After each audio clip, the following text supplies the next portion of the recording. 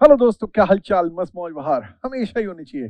तो दोस्तों, आज मैं आप लोगों के पास आया हूँ SFM की अपडेट लेके दोस्तों एस के स्टडी मटेरियल में कुछ क्वेश्चंस ऐड ऑन हुए थे। तो जो SFM के जितने भी क्वेश्चंस ऐड ऑन हुए थे दिसंबर 2020 में जो आपका ये स्टडी मटेरियल रिवाइज हुआ था uh, एक तो सिक्योरिटी वैल्यूशन थ्री आपका मैंने मनी मार्केट इंस्ट्रूमेंट्स का वो मैंने आप लोगों को ऑलरेडी uh, तकरीबन सवा दो घंटे के आसपास का लेक्चर आप लोगों को ऑलरेडी मैं दे चुका हूँ।